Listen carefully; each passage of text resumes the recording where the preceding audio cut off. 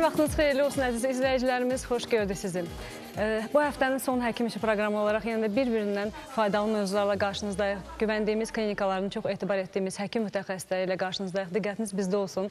Proqramımız canlı yayımları, mövzularımızla əlaqədar həm telefon nömrəmiz aktiv olacaq, həmçinin də həkim Alxat işi Instagram səhifəmizdə aktiv olacaq. Buyurub suallarınızı yaza bilərsiniz, zəng eləyə bilərsiniz. Həkimlərimiz canlı yayımda cavablandıracaqlar.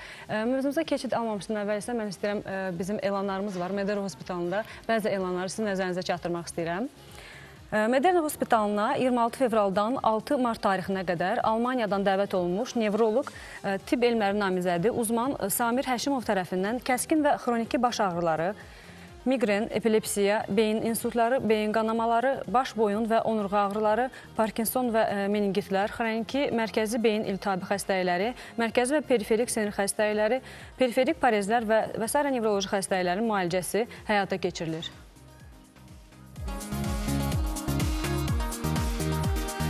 Və digər bir elanı Medero Hospitalında sizin nəzərinizə çatdırmaq istəyirəm.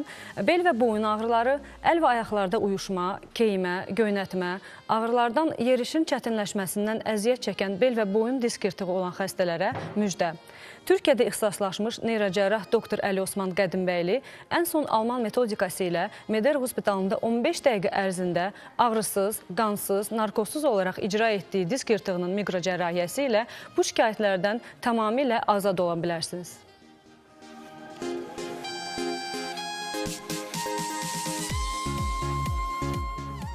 Və əziz tamaşaçılarımız, e, üçüncü elanı nəzərinizə çatdırmaq istəyirəm. Qafqazda ilk dəfə Medero Hospitalında Epic 7 ultrasəs müayinə cihazı sizə təqdim olunur. Görüntünün hər nöqtəsində real zamanda yüksək dəqiqlik, ultrasəs müayinəsinin son nailiyyəti olan Share-Wave elastometriyası ilə qaraciyərdə fibrozun səviyyəsini, törəmələrin diferensiyasında maqnit rezonans və kompüter tomoqrafiya müayinəsi qədər dəqiq nəticələr əldə edə bilərsiniz. Epic 7 cihazlı ultrasəs müayinəsinə yeni era açır. Telefonlar 012 992 055 455 0303.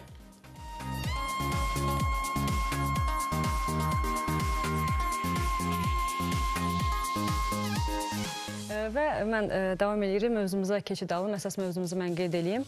Xüsusən də ə, əllərindən işlə əlaqədar olaraq çox istifadə edən insanlar, buna aid də məsələn 40-50 yaş üzərində olan evdar xanımlar, hansı ki, ev işləri ilə əllərindən çox istifadə eləyirlər.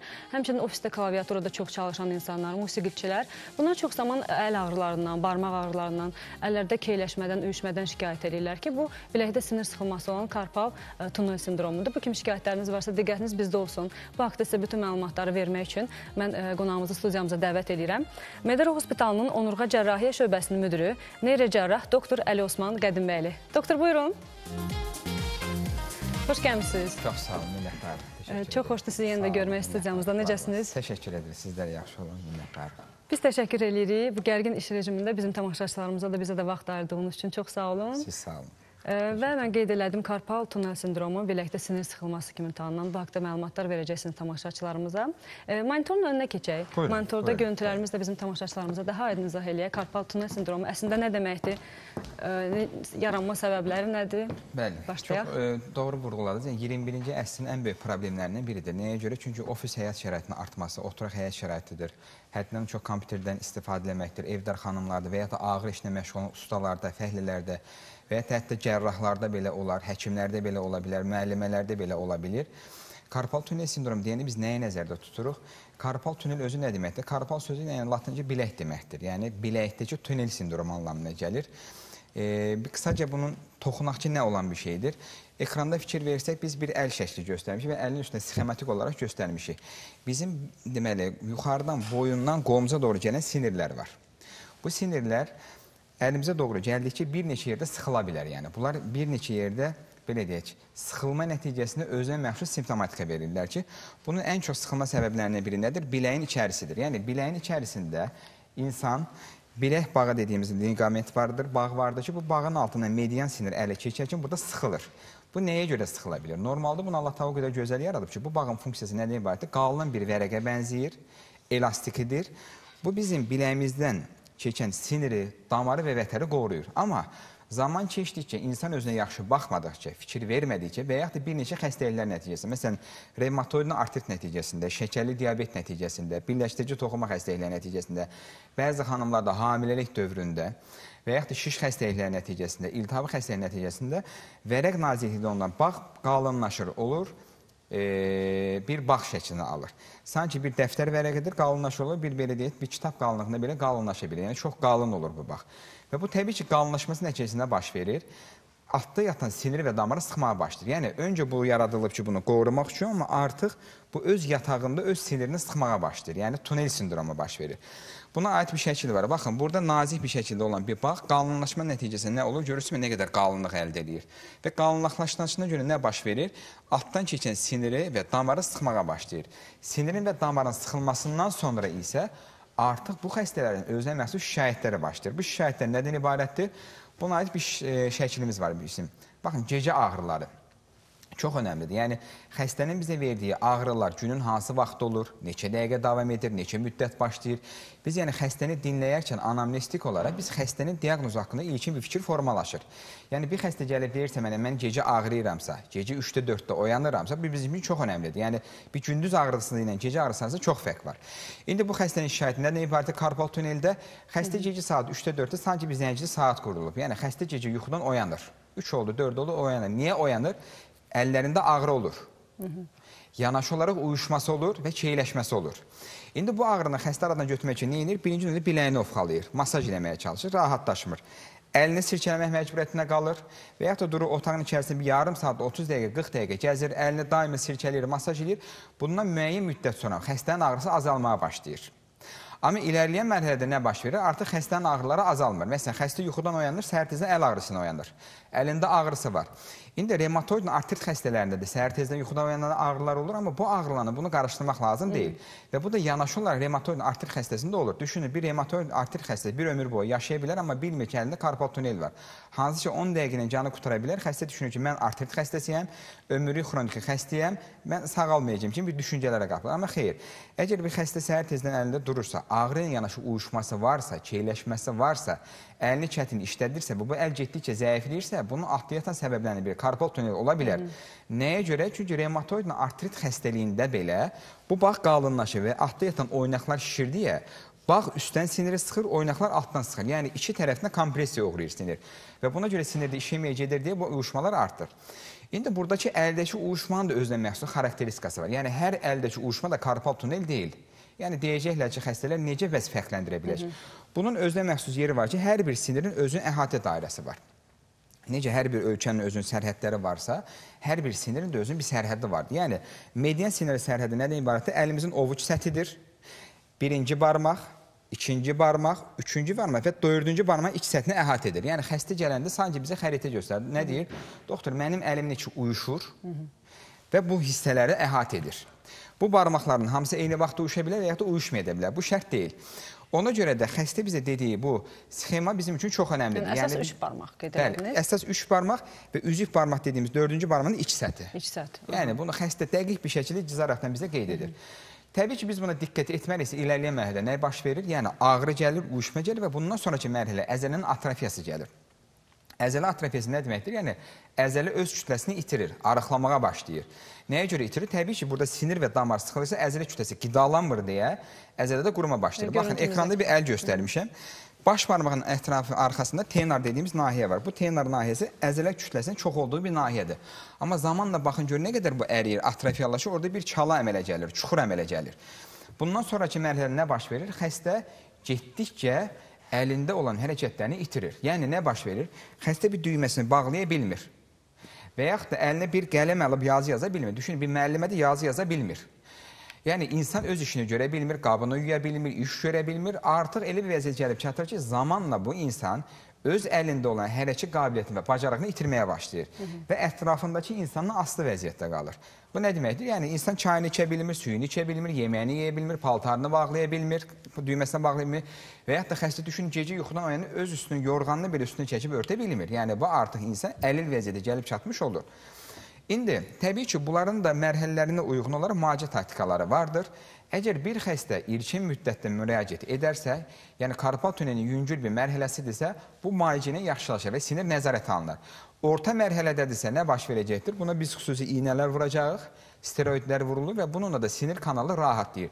Amma təbii ki, üçüncü mərhələdə gəlmişiksə, ağır bir mərhələdə gəlmişiksə, əlim işləmir, uyuşur, şeyləşir, əlimlə bir iş görə bilmirəmsə, artıq bu əməliyyatlıq bir mərhələdədir. Bu əməliyyatlardan bəzi insanlar qorxurlar. Birinci növbədən qeyd edək ki, bu əməliyyatlar son 3-5 il ərzində Azərbaycan icra olunmağa başlayır. Bu əməliyyatlar qorxulu bir əməliyyatlar deyil. Hardasa 10-15 dəqiqə ərzində icra olunur. Bizim Medeira Hospitalda xüsusi Almaniyadan gətirilmiş mikrocərrahi alətlər vasitəsilə, mikroskop vasitəsilə bu cərrahiyyələr icra olunmaqdadır. Bu cərrahiyyələrdə hər hansı bir ağrı olmur, xəstə əlil olmur, şikəst olmur, əksinə quruyan əl açılmağa başlayır. Hı -hı. Yəni xəstə nə qədər erkən müddətdə gələrsə o qədər tez sağalar. Əməliyyatın məqsədi nədir? Sadə bir məqsəddir. Baxın, ekranda şəklə fikir versək, bizim əlimizə gedən sinir göstərilmişdir. Sinir normada sarı rəngdə olmadı, amma sinir görürsünüz nə qədər qızarıb, qırmızı rəngdədir. Bu ödemdir, atiokdur. Və buradakı həmənki bağdır. Bu bağın qanlaşma üzrə sinir boğulur. Qırmızı oxla göstərmişik. Biz burada nə edirik? Mikrocərrahi edirik. 10 dəqiqə ərzində balaca bir dəlikdən daxil olunur və bu sinir azad olunur. Bağ açıldıqdan sonra nə edir? Sinir öz rəngini almağa başlayır. Bununla da xəstənin canı qurtarır. Bizim buna aid məsələn bir sujetimiz var. Yəni çox sağ olun sizin rəhbərliğiniz altında gəlib xəstəxanada bu xəstə çəkilib və mümkün olsun videonu göstərək ki, bu xəstə 10 ilin bir xəstəsidir. Düşünün, 10 ildir bu insan boyun osteoxondrozu diaqnozuna sərf olaraq müalicə alıb, amma əli uyuşduğuna görə, tutmadığına görə Bu xəstə axırda bizə müraciət edib və o xəstənin öz belə deyək də görüntüləri var. Mümkün olsun göstərərik. Aha, biz də təşəkkür edirik ki, xəstələriniz elə ə, bu cür onlar da icazə verirlər. Bəli, tamaşaçılarımızı maarifləndirmək üçün bu daha ə, belə deyək gözəl bir üsuldur. Təşəkkür edirik və tamaşaçılarımız bizim elə bu barədə bir video görüntümüz var. Buyurun izləyin, sonra söhbətimizə davam edək.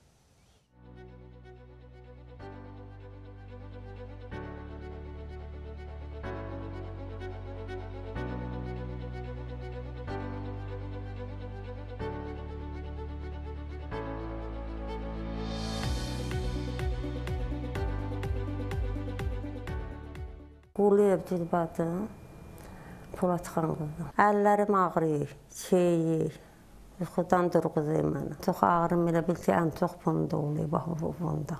Mən işimi görə bilmirəm, yaxamı düyməliyə bilmirəm, yemək yeyə bilmirəm elə. Özümü belə pis hiss edirəm. Aydın. Deməli, sizin əllərinizdə karpal tunel sindromu. Karpal tunel sindromu nə deməkdir? Yəni biləyindən əlinə gələn sinirin sənin biləyində sıxılır. Biləyində sıxıldığına görə sənin əlin uyuşur, keyləşir, ağrı verir, işlərini görə bilmirsən. Gecə də sənin yuxudan oyanmağının səbəbi, yata bilməməyinin səbəbi, barmaqlarının uyuşma səbəbi karpal tunel sindromudur. Biz sənə mikrocərrahi tətbiq edəcəyik 10 dəqiqə ərzində. Balaca bir məsafədən bu sinirini genişləndirəcək və bununla da sənin canını qurtaracaq əməliyyatla inşallah.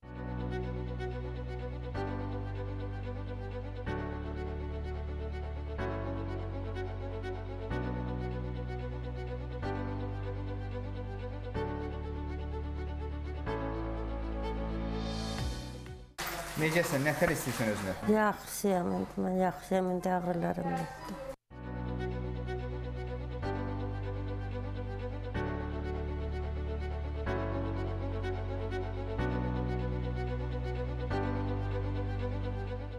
Necəsiz? Nətər hiss edirsiniz? Əməliyyatınız qutardı, hər şey gözəldir. Bəli. Özünüzü necə hiss edirik? İndi yaxşı hiss edirəm, çox sağ olun doktor. Üç il bundan qabaq bu vəziyyətdə idim. Bilsəydim belə oğullarımız var, yaxşı doktorlarımız var, mən bunu çoxdan elətdirərdim. Allah saymasın. Əllərini işlət görüm. Əla. Əllərində zəiflik hiss eləmirsən ki? Yox, doktor, Gözəl. Hər şey qaydasında. Kimin beləncə əlləri ağrısa, belə işməsiyyədi olsa, qorxmasın, gəlsinlər, elətdirsinlər. Belə doktorlarımız sağ olsun, çox yaxşı doktorlarımız var. E,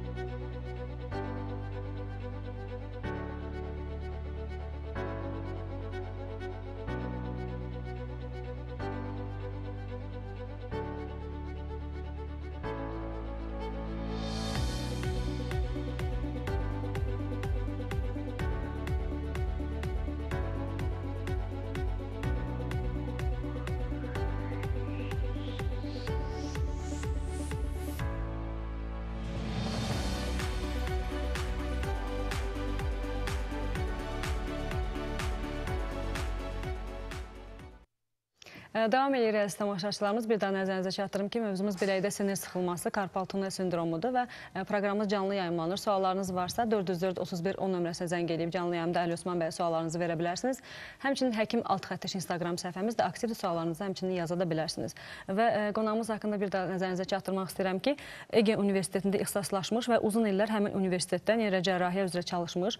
Hal-hazırda Medər Hospitalının onurğa cərrahiyyə şöbəsinin müdiri, neyrocərrah doktor Əli Osman Qədimbəyli onurğa bütün növ patologiyaların ən son tibbin yeni nailiyyətlərindən istifadə edərək cərrahi əməliyyatlarını icra etməkdədir. Buyurun müraciət edə bilərsiniz. Və biz mövzumuza ə, davam edək Əli Osman doktor. Ə, qeyd elədik. Mən istəyirdim video görüntümüz haqqında bir də məlumat verərdiniz. Hə, bəli, bu xəstə gördüyünüz kimi 50 yaş üzərində bir xəstəmizdir. Bu xəstə hardasa 5-10 il ərzində sərf etmirəmsə, əllərində uyuşması var, keyləşməsi vardır. Bu xəstə uzun müddət osteoxondroz diaqnozu ilə müalicə almışdı, amma heç bir fayda görmürdü. Bizdə də gələrkən xəstənin hər üç barmağında, hər iki əlindəki üç barmağında uyuşması var, keyləşməsi var. Düşünün bu insan 5 il ərzində gecə yuxusu yoxdur. Yəni gecə 2-3 saat yatır və bundan sonra oyanır, ağrılara görə oyanır. Bundan sonra ağrısı çəkib getsə də artıq xəstənin yuxusu pozulur. Yəni xroniki yuxusuzluq başlayıb. Yəni bir sadə ağrıya görə görürsün insan həyatı nə qədər etkilənir. Bu xəstə dəfələrlə fizioterapiya alıb, dərman müalicəsi bir fayda görməmişdi. Amma bizim Medere Hospitalda Almaniyadan gətirilmiş ən son mikroskop vasitəsilə biz bu əməliyyatı ağrısız bir şəkildə, qansız bir şəkildə 10 dəqiqə ərzində icra edərəkdən bu əməliyyatı sonlandırmış oluruq və bundan sonra xəstə normal həyatına geri dönmüş olur. Tamamilə aktiv həyatına dönə bilir bunlardan sonra. Hı -hı. Bizim elə Instagram suallarımızda gəlir ə, belə bir sual var ki, əllərinin tez-tez uyuşması var məndə. Nədən ola bilər? Siz artıq Bəli, onu karpal tunel olma ehtimalı yüksəkdir. Aha. Bəli. Mən ə, əziz tamaşaçılarımız nəzərinizə çatdırmaq istəyirəm ki, gecə əl uyuşmalarından, əl keyməsindən, ə, göynəməsindən, barmaq ağrılarından, əl zəifliyindən şikayət edən karpal tunel xəstələrinin diqqətinə. Türkiyədə ixtisaslaşmış neyrocərrah doktor Əli Osman Qədimbəli tərəfindən Medero Hospitalında Alman metodikası ilə icra olunan 10 dəqiqəlik ağrısız, qansız mikrocərrahiyyə ilə bu şikayətlərdən tamamilə azad oluna bilərsiniz. Buyurun müraciət edə bilərsiniz. Qeyd etdiniz ki, mən istəyirdim bir daha təkrar eləyəsiniz ki, əgər vaxtında müraciət olunmasa, sonradan iflicə gətirib çıxara bilər. Təbii, həm iflicə gətirib şəbə, gec müraciət edən xəstələrdə də təbii ki, bu bərpa olmur. Yəni Hı -hı. ölən sinir bərpa ola bilmir. Bunu xatırlayaq. Yəni hər bir sinir yaşama bir müddəti var. Əgər sinir məhv olasa bu bərpa ola bilmir. Yəni biz saçımızı kəsərik, uzanar, dırnağımızı kəsərik, uzanar, amma məhv olan sinirin bərpa olma şansı yoxdur. Ona görə də sinir quruyana qədər, iflic olana qədər bunu əhəmiyyət verir. Yəni bilirsinizmi bu ağrıdır, keyləşmədir. Bunu Allah Taala'nın verdiyi bir dildir. İnsandan danışır orqanizm. Yəni bir ağrı verirsə əhəmiyyət eləməklə bizim üçün əhəmiyyətlidir. Uyuşma verir, diqqətləmirik. Ən axırda təbii ki, xəstə nə vaxt gəlir ki, artıq əlim quruyub, əlim işləmir. Mənə görə nə edirsə əlim açılsın. Bu mərhələyə çatdırmayaq. Bir ağrı mərhələsində, bir uyuşma mərhələsində vaxtında mütəxəssisə müraciət etmək lazımdır bu halda, mütləq bir şəkildə. Hı -hı. Və görüntülərimizə keçək. Biz e, disk patologiyaları haqqında tamaşaçılarımıza məlumat verəcəyik. E, Burada artıq disk Bəli. yırtığının yaranması stadiyaları Bəli, haqqında. qoldakı ağrıların başqa ən önəmli səbəblərindən biri də sinir sıxılmalarının səbəblərindən biri də nədən ibarətdir? E, boyun nahiyəsinin fəqərə disk yırtıqlarıdır. Bizim boyun nahiyəmiz e, qeyd etmək istəyirəm ki, fəqərələrdən təşkil olunmuşdur. Buna aid bizim mümkün olsa burada operator yaxından göstərsin buradakı onurğa maketinin üzərisində. Yəni boyun nahiyəmizdə fəqərələri vardır. Boyun fəqərələri arasında disklər vardır. Və bu disklərin yanında bizim qolumuza gedən sinirlər keçir və beynimizə doğru gedən damarlar keçir. Yəni boyun bölgə olaraq çox əhəmiyyətli bir bölgədir. Yəni ekranda artıq göstərilir. Mən bunu yaxından göstərim. Baxın, bunlar boyun fəqərələridir. Boyun fəqərələridir, ağ rəngdə gördüyümüz və fəqərə arasında gördüyümüz disklərdir, qığırdaqlar. Bunlar elastikdir. Və eyni zamanda bizim başımıza gedən fəqərə arteriyası keçir buradan. Ön nahiyədə burada görünmür, yoxdur. Şah damar deyirik, yuxarı arteriyası keçir və buradan bizim qolumuza gedən və beynimizə gedən sinir kökükləri çıxır. Və bu sinir köküklərinin və damarların təbii ki, artıq yırtıq nəticəsində sıxılması başlayır. Amma heç bir yırtıq birdən-birə yaranmır. Bunun yaranmasının özünə məxsus ardıcıllığı vardır ki, bu ardıcıllığı biz ekranda göstərməyə çalışmışıq. Buna biz degenerativ dəyişikliklər deyilir. El arasında buna osteoxondroz deyilir, kirəcləşmə deyilir, duzlaşma deyilir və yaxud da onurğanın qocalması kimi tanıyırıq biz bunu. Bu da normalda pulpoz nüvəmiz var, ətrafında fibroz əlqə var. Bunlar dairəvi yumru olmalıdır. Amma nə baş verir? Bu görürsün öz quruluşunu dəyişir. İkinci mərhələ protruziya mərhələsidir. Artıq nüvə sürüşməyə başlayır və ətrafdakı həlqəni nazikləşdirir. Üçüncü mərhələ nə mərhələsidir? Baxın, yırtıq mərhələsi. Bu nəyə görə yırtıq deyil? Yəni yırtılır. Yəni ətrafdakı fibroz, əlqə cırılır, aralanır, qopur və nüvə axmağa başlayır. Dördüncü mərhələ nədir? Yırtığın sekvestrasiya mərhələsidir. Bu nə deməkdir? Biz deyirik buna qopmuş disk parçası. Yəni mərkəzlə əlaqəsini itirir. Bu təhlükəlidir. Baxın, yırtığın bir hissəsi durur kanalın e, belə deyim, disk məsafəsi bir hissəsi qopub ayrılır. Bu artıq sekvestrasiya mərhələsidir. Bu ayrılma nəticəsində nə baş verir? İnsanın sıxılan sinirinə uyğun ağrısı başlayır. Yəni bu nədən ibarətdir? Boyun yırtığının yerləşmə yerindən asılı olaraq sinirin qurma dərəcəsi dəyişir. Boyun yırtıqları belə nisbətən çox təhlükəlidir. Nəyə görə çox təhlükəlidir? Çünki boyun yırtığı nəticəsində insanın əlil olma, iflic olma, yatağa düşmə şansı çoxdur. Çünki bu zaman haram ilikdə sıxılır, onura kanalı da sıxılır. Burada xəstənin ən böyük şikayət nədir? Birinci növbədə boyun ağrılarıdır. Bu insanlar daimi boyun ağrısına əziyyət çəkir. Bunların çiyinlərinə vuran ağrıları olur və qola doğru yayılan ağrılar olur. Xəstə daimi boyun və çiyin ağrılarından narahat olur. İkincisi, bu xəstələrdə nə baş verir? Baş hərlənmələr olur, baş dönmələr olur. Xəstə səndələyərəkdən gəzir, yataqdan duranda sanki ev başına dönür və yaxud da özü aşır, yıxılmağa çalışır. Üçüncü ən önəmli şikayətdən biri nədir? Evet, xəstənin qulağında səs-küy olur. Yəni sanki bir çay yanında oturub səhər üçün bir şırıltı gəlir. Sanki bir e, musiqi aləti çalır qədər, o qədər xəstə narahat olur. Başqa önəmli şikayətlərdən biri nədən ibarətdir? Yaddaşsızlıq olur, diqqətsizlik olur. Bunların olma səbəbi nədən ibarətdir? Çünki bizim boynumuza gedən arteriya və damar sıxlığı, burada da bir maketimiz var. Mümkün olsa onun üstündə mən göstərirəm arteriyanı, yaxından göstərilsin, zəhmət olmasa. Burada Yaxınlaşaq. nəyə diqqət edək, burada görəcəyik. Baxın, burada biraz öncə görmədiyimiz, burada görünür. Bax, ürəkdən çıxan karotis biz deyirik, yəni yuxu arteriyası deyilir. Və bunun da yanından eyni zamanda vena gedir və bunun da arxasında nə gedir? Fəqər arteriyası gedir. Təbii ki, yırtıq birbaşa bizim boynumuzdakı bu arteriyaları sıxdığına görə bizim beynimizin qanlanması pozulur yəni. Beyin qan dövranı pozulur. Və bunun pozulması nəticəsində nə baş verəcəkdir? İnsanlarda birinci növbədə nə baş verir? Baş ağrıları olur, baş gicəllənmələr olur və eyni zamanda bu xəstələrin ən önəmli şikayəti nədən ibarətdir? Burada kəllə sümüyü var, onun üstündə göstərəcəyik. Deməli, birinci növbədə alın nahiyəsində bunlarda ağrı olur bu xəstələrdə. Xəstə nədir? Mənim alnım sıxılır. Və yaxud da gicgah nahiyəsində xəstənin təpə nahiyəsində sıxılma hissi olur. Və yaxud da bunlarda nə baş verir? Daimi boyun nahiyəsi, çənə nahiyəsi, üz nahiyəsinə vuran bir ağrılardan xəstələr şikayət edə bilirlər. Amma ilərləyən mərhələlərdə nə baş verir? Bu xəstələrdə təbii ki, artıq bundan sonra bu xəstələrdə nə baş verir? Əllərində, qollarında uyuşmalar və çeyləşmələr olur. Bu xəstələrdə də uyuşmalar, çeyləşmələr olur. Ona görə də burada yerləşmə yerindən asılı olaraq qırıcanın dəyişə bilir. Məsələn, xəstə gələ bilər ki, mənim yalnız və yalnız bazu nahiyəm ağrıyır, çiynəm ağrıyır. Xəstə nə deyə bilər? Çiynimi qaldıra bilmirəm. Niyə görə qaldıra bilmir? Bəzən də xəstələr bunu çiyin oynağının ağrılarına qarışdırırlar. Deyir, mənim duzlaşmam var, artrozum var, çiynimi bir neçə ildə müalicə edirəm, amma sağalmır. Yəni burada düşünmək lazımdır bunun alt yatan səbəblərindən biri sinir ağrıları da ola bilir. Rentgen etdiririksə, bir şey çıxmırsa və yaxud da bir artrozumuz var, müalicə alırıqsa, bir travmatoloq ortoped deyir ki, bir problemin yoxdur, yenə də qolumuz qalxmırsa, ağrıyırsa, bu bir sinir ağrısı ola bilər. Nəyə görə? Çünki boyundakı sinirin sıxılması nəticəsində xəstə qolunu qaldıra bilməyəcək. Yəni bu adam saçını taraya bilmir. Hı -hı. Bizim Ünal Osman doktor belə bir şikayətlə ə, bağlı bir telefon zəngimiz var. Mehbarə xanım qəbul eləyək. Mehbarə xanım buyurun. Mehbarə xanım eşidirik sizi. Salam xanım. Salam. E, doktor salamlayıram. Sağ ol. Xanım, mənim e, doktora müraciətim var. Bilmək istəyirəm, 55 yaşım var mənim. Baş ağrılarım çox tez-tez tutur. Bir də ki, məndə qol keyməsi, əl keyməsi onunla bağlı olur ki, nə vaxtsa o su ilə çox işləyirəm. Həmən gecə mənim əlimin keyləməsi, ağrısı çəkilmir, getmir. Ta ki, ta ki bir gün ötür, suyu azaldıram, su işindən azaldıram, ondan sonra o keyləşmə keçir gedir. Yəni bir dəfə müalicə almışam, heç xeyri olmuyor. Sualınız var? Bilmək istəyərdim o nə ilə Hər, bağlıdır. hər iki əlinizdə olur xanım Yox, çeyləşmələr. yox, sağ əlimdə. Sağ əlində olur. Aydındır.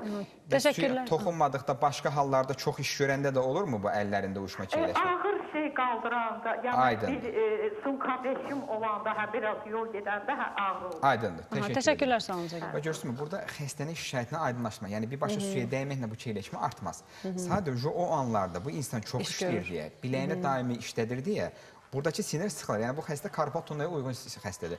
Məsələn, bu adam sabah tutam çox iş görsə, ağır iş görsün və yaxud da əlinə bir xəmir yoğursun, bir qabı çox yusun və yaxud da yumasın, quru iş görsə belə, çox iş görürsən, əldə uyuşmalar olur. Karpal tonaya sindromu olma ehtimalı yüksəkdir. Bu xəstəyə baxmaqda fayda vardır.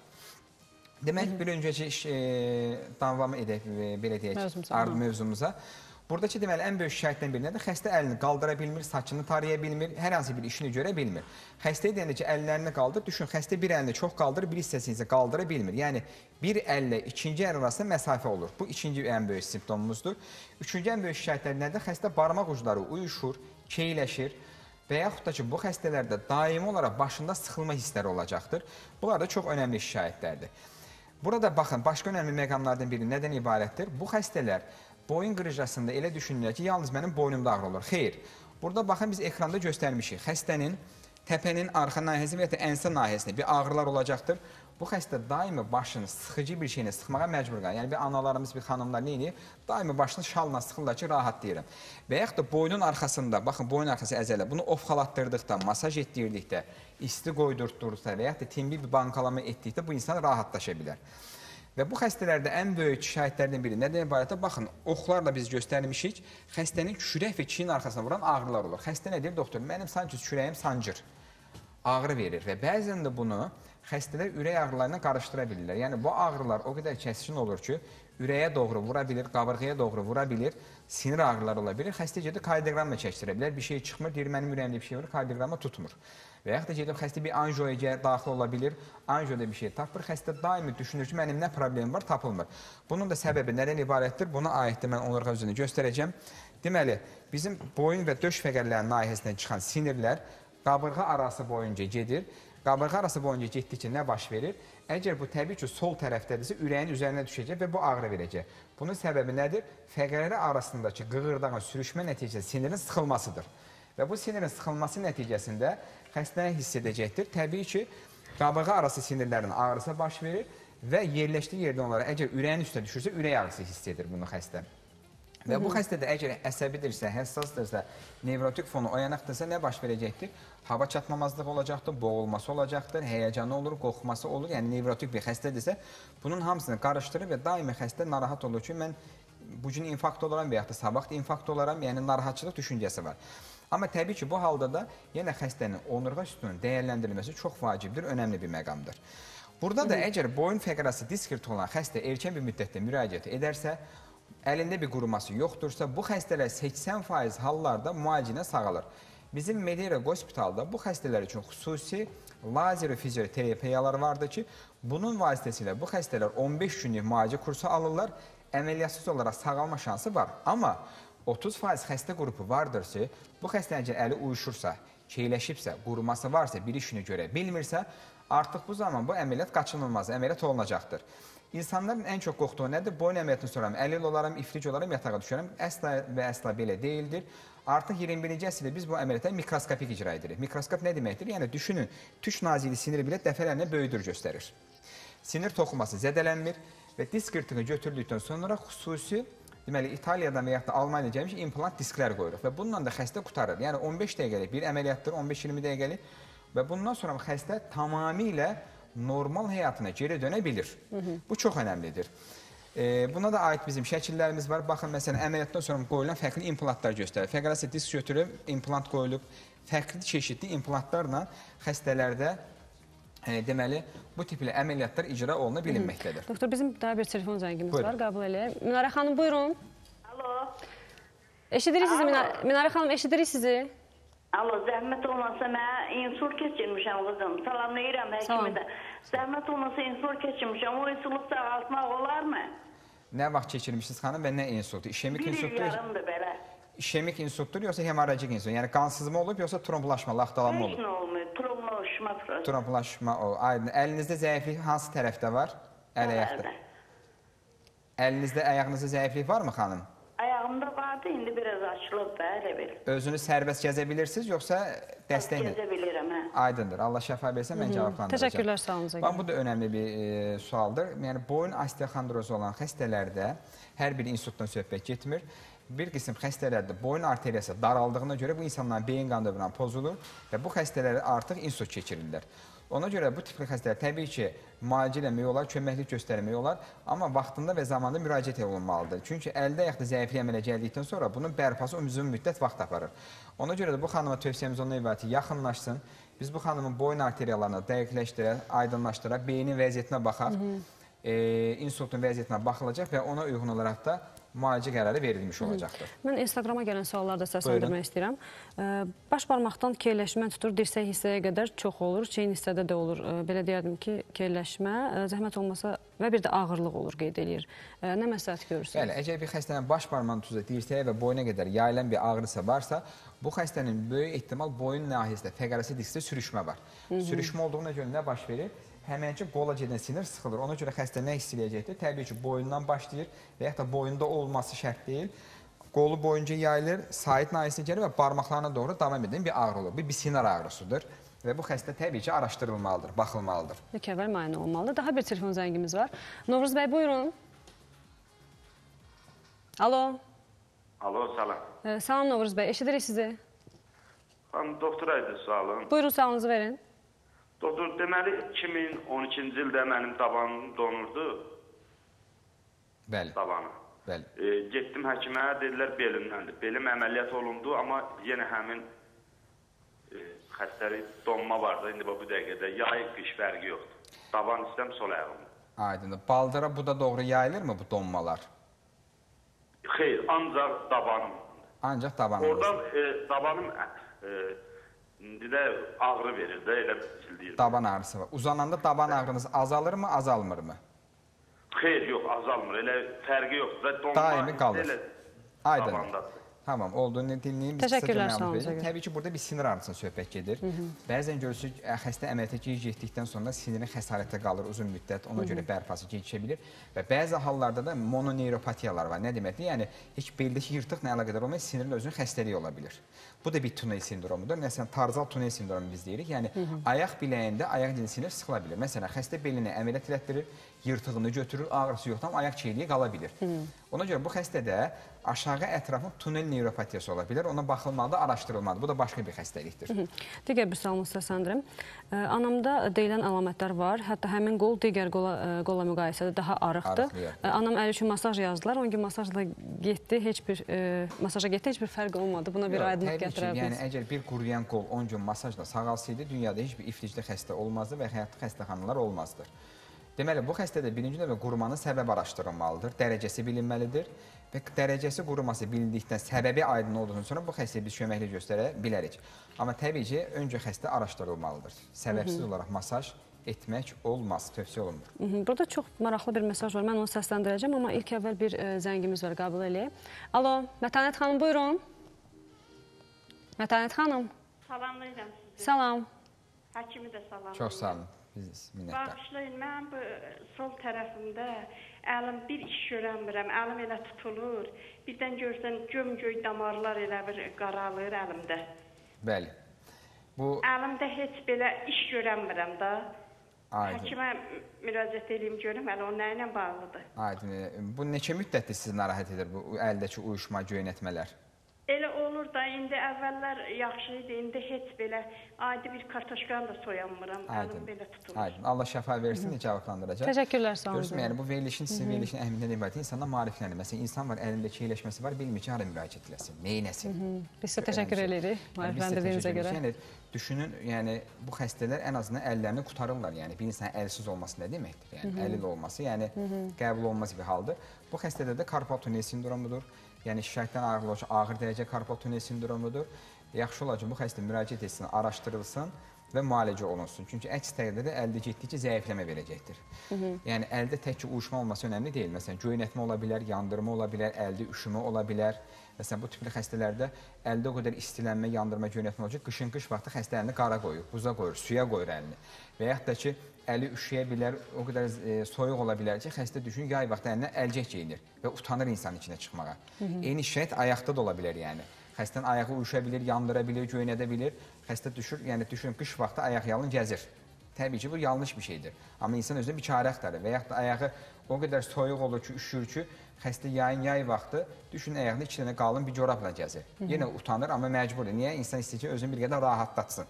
Amma təbii ki, bu nə edir? Xəstəliyin artırdıqca vaxtı irəlilədikcə sinirin məhv olma dərəcəsi artır. Yəni geri dönməz hallara gətirib çıxardır. Hı, Bizim ə, mən mesajı səsləndirim. Ə, Əslində sual deyil, təşəkkür mesajıdır, amma Buyurun. mən istəyərdim bu haqqda da özümə də maraqlı gəldi. Bir məlumat verərdiniz, bu haqqda danışardıq. Sizə təşəkkür ediblər və qeyd edib ki, 3 gün bundan əvvəl bizim ə, gəlin və bətnindəki körpəni ə, disk yırtığını ə, əməliyyat edib həyata qaytarmısınız. Özümə çox maraqlı gəldi. Yəni hamilə Hə, bir bəli. xanımı siz ə, əməliyyat etmisiniz. Bəli, hə, bu, bu barədə çox bir məlumat ağır xəstə idi. Xanıma biz də təşəkkür edirik, sağ olsun diqqətinə görə. E, çox az olunan əməliyyatlardır. Bu xanım hamilə idi, 5-ci ayın hamiləliyində idi və böyük bir yırtığı vardı. Xəstənin ayağı quruyurdu, zəifləyirdi. Xəstə özü çəkilişə icazə vermədi, əslində iş istəmişdi, amma yenə sağ olsun. Biz özə dedik ki, mümkünsə bir çəkiliş olun, müsabiqəyə versin. Prosta utandı xanım özü. Bir hamilə qadında təbii ki, mikrocərrə çox riskli bir əməliyyatdır, çox təhlükəli bir əməliyyatdır. Yəni burada düşün bir ananı əməliyyat etmirsən, eyni zamanda uşağı düşünürsən. yəni əlbəttə ki. bir həkim üçün bir stressdir. Amma bizdəki olan bir mikroskop vasitəsilə çox gözəl olaraq biz bu əməliyyatı icra elədik. Birinci növbədə narkozsuz olundur.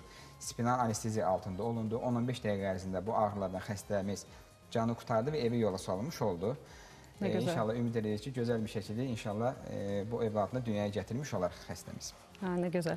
Ə, Və ə, bir çox tamaşaçılarımız sual verirlər ki, mən istəyirəm bu əslində insanların doğru bildiyi bir yanlışlardandır. Siz əslində qeyd elədiniz ki, masajla təbii ki, bu ke keçməz. Yenə də Bəli. sual verən tamaşaçılarımız var ki, biz masaja getsək bu keçərmi? Əslində fəsadlarını da qeyd elədiniz. önəmli bir şey var ki, yəni bəzi insanları, bizim insanlar belə deyək, yəni insan bir doktora görünmədən bir müalicə taktikası aparmaq meylindəyik. Yəni bir ara həkiminə getsin, belini dartdırsın, boynunu dartdırsın və ya da bir yaxı qoydursun və ya da bir müalicə elətdirsin, masaj elətdirsin.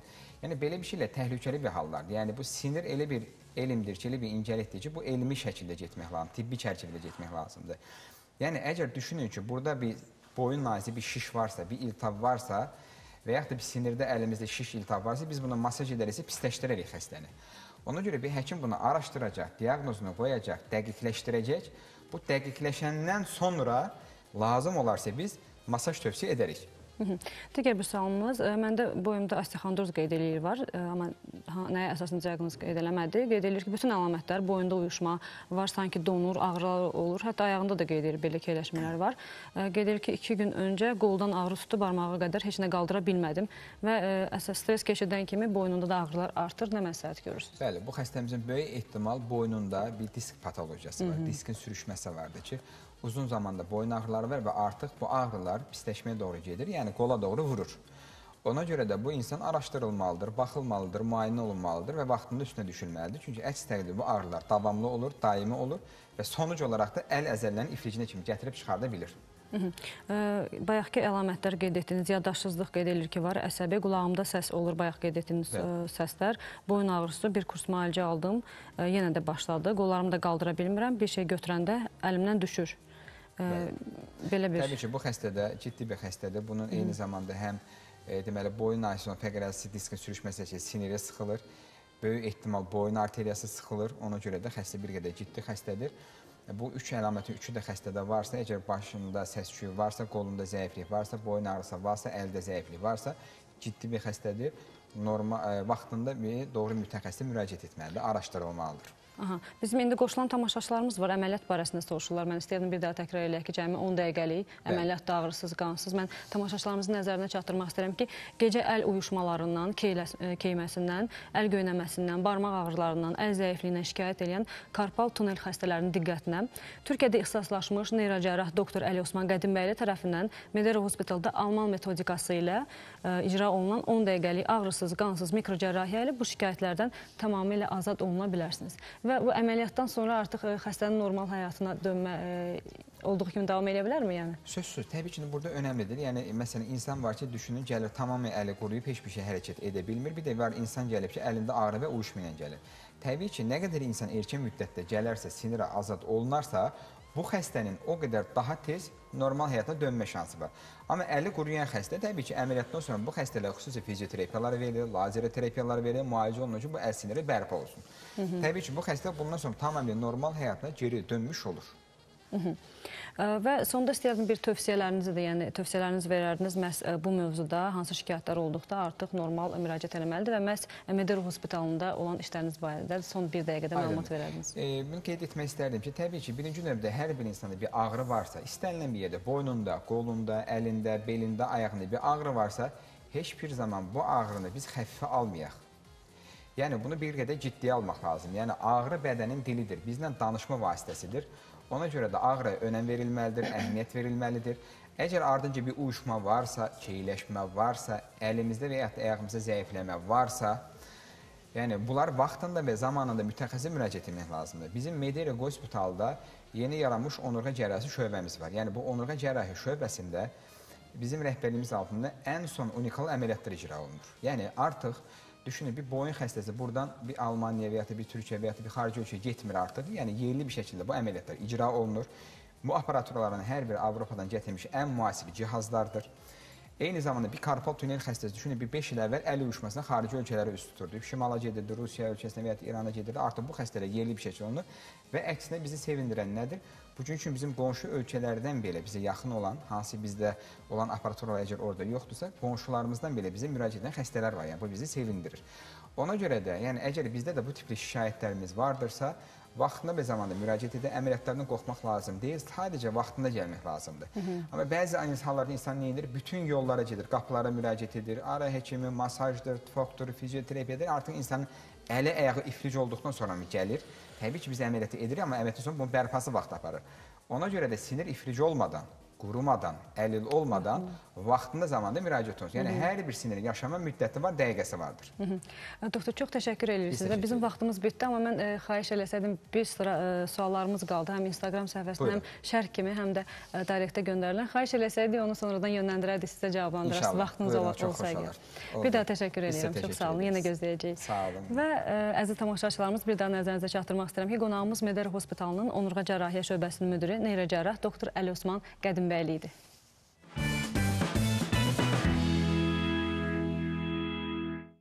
tamaşaçılarımız, belə bir deyim var ki, uşaqlar sevgisiz, dişlər isə baxımsız olmaz.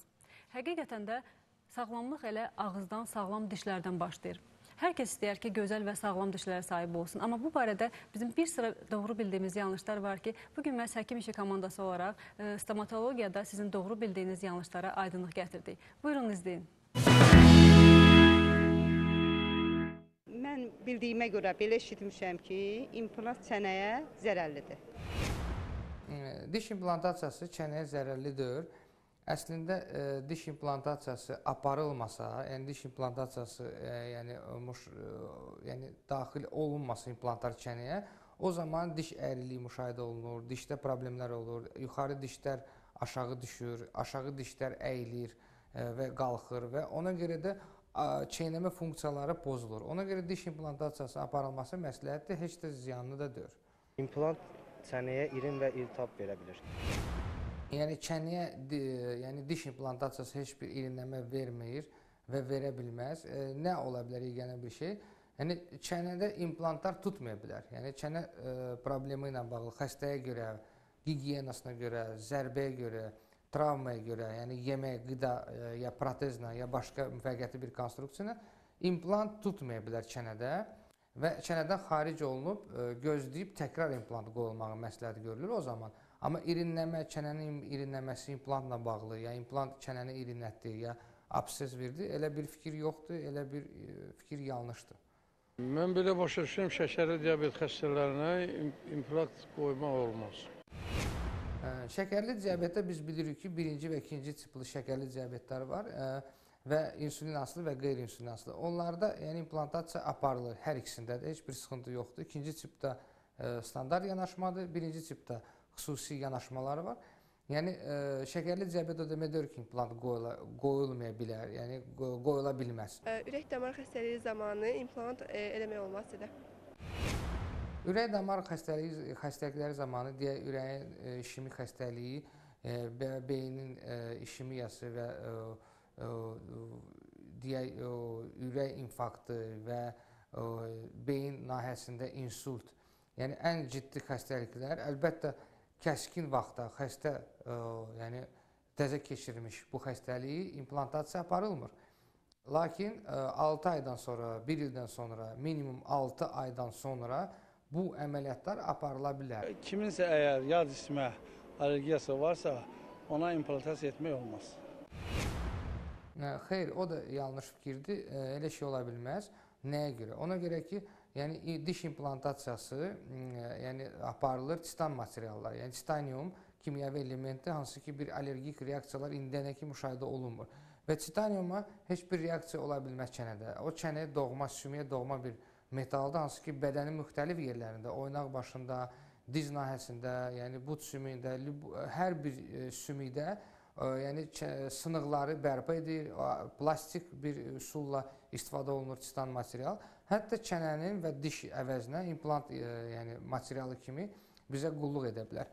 İmplant ağırlı bir əməliyyatdır. Çalışın elətdirməyin səhv fikirdir. Ona görə ki, implantasiya çox asan bir prosedurdur. O nəyə görə? Ona görə ki, ən müasir üsulla, rəqəmsal üsullarla, yəni bu öncəsi planlaşdırılırsa, çox az vaxt səhv edir. Yəni 5-6 implantı 30 dəqiqəyə qoymaq olar. Hətta alt üst çənənin reabilitasiyası deyək 6-6 12 implantı sümük köçürməklə bir yerdə 1-2 saat ərzində etmək olar. Nəyə görə? Ona görə ki, ağırlı dövr.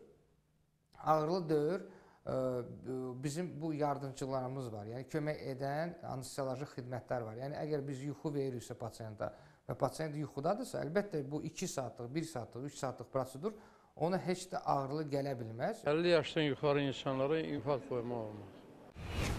Yox, səhv fikirdir. Yəni ümumiyyətlə implantasiya özü 17-18 yaşdan bəri yuxarı başlanılır. Yəni göstəriş 17-18 yaşdır yuxarı sərhədi yoxdur. Əgər bizim somatik vəziyyətimiz, yanaşı gedən xəstəliklərimiz yoxdursa, e, biz sağlamıq, bizdə infeksion xəstəliklər yoxdur, ürək-damar xəstəlikləri ciddi yoxdur, hansılar ki, bizim bədəni sağlamlığımızı pozur və biz e, əgər normal fəaliyyətdə həyatda analizlərimiz normaldır, qan göstəriciləri normaldır, yəni heç bir sıxıntı yoxdursa, o zaman implantasiyanın yuxarı sərhədi yox. 90-85 yaşında da hətta aparıla bilər. İmplantasiya narkoz etmək olmaz. Xeyr, səhv fikirdir. O da ə, e, nəyə görə? Ona görə ki, yəni əslində əgər pasiyent həssasdır, siniri oyaqdır, yəni ə, e, nevrozu var, problemi var, ə, e, fobiyası var, qorxusu var, əlbəttə ki, ona narkozla, yuxu verməklə vena daxili bu işi aparmaq daha məsləhətli olar. Mən belə düşünürəm ki, protezlər və körpülər implantdan yaxşıdır. Xeyr, o da düz fikir deyil. Ona görə ki, protez çıxan protez, hansı ki gündə 2 dəfə yuyulub qoyulur ağız boşluğunda, ağız boşluğundan çıxarılır, qoyulur kənara. Əlbəttə ki, yara yaradır, çənə sümüyünün azlığını yaradır, çənə sümüyünün sovrulmasını yaradır və diş ətinə, selgik şəyə hər bir yük düşür ora.